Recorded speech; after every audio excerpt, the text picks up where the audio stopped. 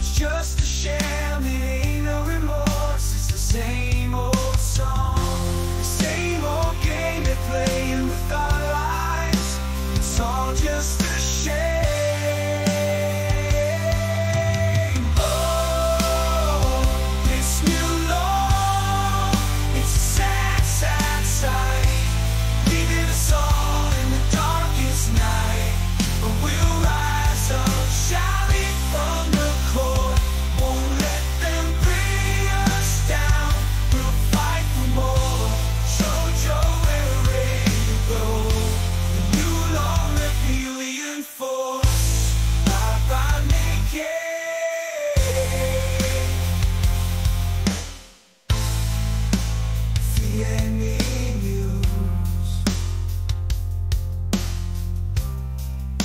media news, no one seems to care.